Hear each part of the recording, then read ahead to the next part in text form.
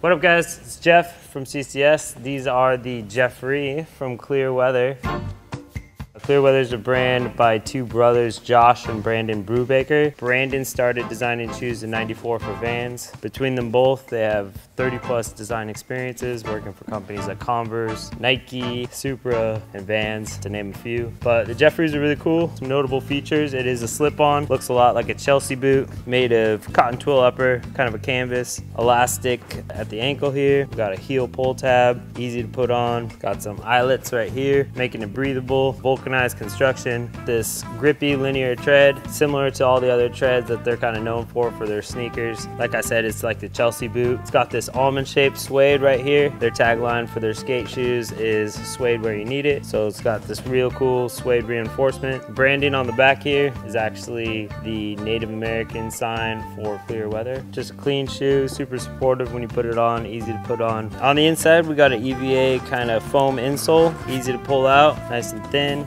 give you good board feel, nice and flexible, got a good structure to it, padded in the heel. If you're a dog, this shoe slips on real well. Boom, polish, flawless. Elvis is killing it right now in the clear weather Jeffrey.